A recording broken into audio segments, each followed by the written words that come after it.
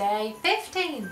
Ah, day 15 and today I am setting myself a challenge. I've got to make our wreath for our door because we haven't got one. We haven't got one up which is terrible. So um, I have got some branches from the Christmas tree because we had to cut some of the branches off um, to fit it in the pot. So we cut some of the branches off and um, I'm going to use them and I'm going to tie them round to make um, a circle. And then I've got some holly and I'm to weave stuff in make it look nice and I've also got do you remember we made the um, sparkly pine cones way back, I can't even remember what day, but back some days ago we made sparkly pine cones. I'm going to use them in my wreath.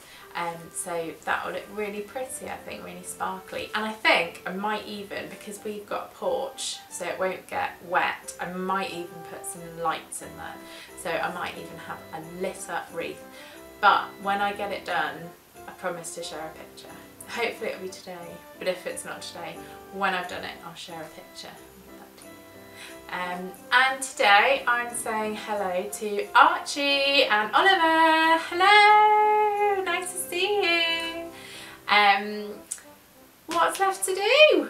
But another day, another door. Are you ready? Are you steady? Open it up and it's this wonderful reindeer bag. Isn't it lovely? It's Rudolph. So I'm going to show you how to make it. Now this is an idea from Mrs Jones's Creation Station. And to start with, you just need a brown paper bag. And what I've done is I have cut here, I've drawn on some um, antler shapes.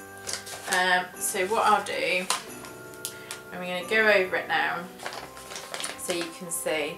So this is just very rough. So got my antler shapes there. You can see that there. And I'm going to fold my bag in half and I'm just going to cut along one of them. La, la, la, la. And remember what we say about scissors. Oh, I know what I forgot to say. Ah, look, it's the hat we made yesterday.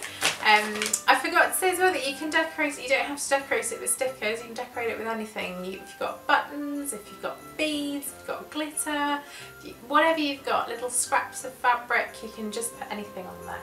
Um, so that was that was yesterday anyway. Right, so we've got our bag and we've got this shape cut out now. And then very simply, we're going to need red circle. Can you guess what that is? Yes, It's a nose. So we've got Rudolph's nose. Then I need two white circles and two smaller black circles which make up Rudolph's eyes. So I'm just going to stick those on and they're obviously just going to go a little bit above. Let me see, I've got some glue on now. So they're going to go one there and one on the other side like that. So he's got a lovely face, uh, but he's missing something. What do you think he's missing? He's got eyes, he's got nose, he's got antlers, he's missing a mouth. So I'm going to draw him one on. Let's see, this is going to be tricky, isn't it? So, wiggly line. There we go. So he's got a nice mouth there.